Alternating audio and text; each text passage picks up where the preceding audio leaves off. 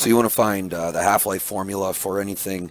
Uh, here's a basic function. h of t equals the initial amount of what uh, substance you have uh, times the base of 1 half raised to the exponent of t over h. So suppose a substance has a half-life of, say, 100 years. Uh, and you want to find out how long until 80% um, remains. So the initial amount, we'll just say, is 100%. So we want to know an 80% remains of an initial amount of 100 of 1 half t uh, and then over 100 years. And this should make sense because think about it.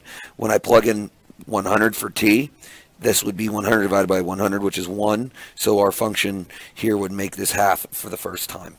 So to solve this, we have 0.8 equals 0.5 t over 100.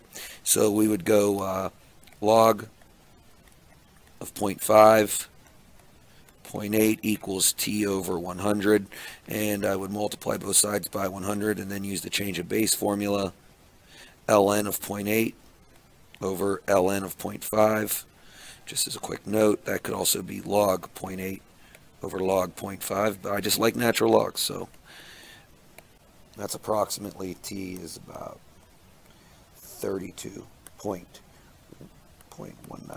years